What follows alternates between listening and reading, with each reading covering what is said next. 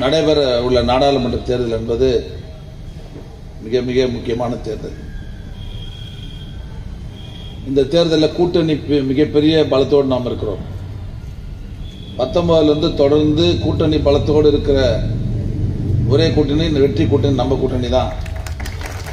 போன தேர்தலில் எதிரி பலமாக இருந்தாலும் கூட அண்ணன் டிஆர்பி அவர்கள் ஏழு அஞ்சு லட்சத்தி ஏழு எட்டாயிரம் ஓட்டு வாங்கினார்.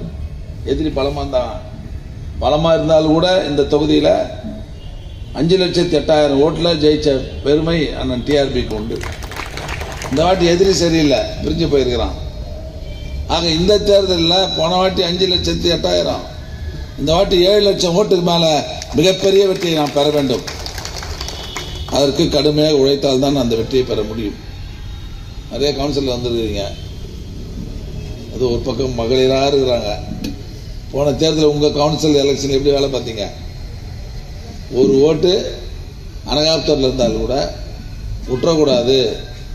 தேர்தல் அந்த ஆள் எட்டு வந்து ஓட்டு போட வைக்கணும்னு சொல்லி தேடி கீடி பிடிச்சி ஓட்டு போட வச்சிங்களா? அப்போ எத்தனை வாட்டி நீங்கள் ஓட்டு கேட்டிருப்பீங்க? காலையில் சாயங்காலம் தொடர்ந்து வாக்காளர் தான் போய் பார்த்தீங்க காலையில் சாயங்காலம். அதனால் நம்முடைய கவுன்சிலர்கள் வார்டு உறுப்பினர்கள் வட்டக்கழக செயலாளர்கள் பூத் அளவில் போட்டிருக்கிற நம்முடைய பிஎல்இ டூ பூத் கமிட்டி மெம்பர்லாம் ஹேண்ட்பிட்லாம் கொடுத்தாச்சு. நாளையிலேருந்து இன்னைக்கு தான் இதான் இப்போ இது இதுக்கப்புறம்லாம் கூட்டம்லாம் கிடையாது.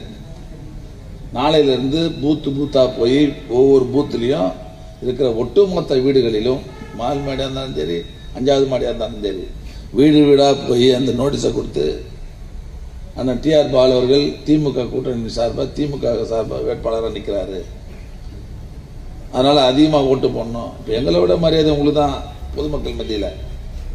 ஏன்னா நீங்கள் தான் தண்ணி கொடுக்குறது லைட்டு போடுறது குப்பை எடுக்கிறது.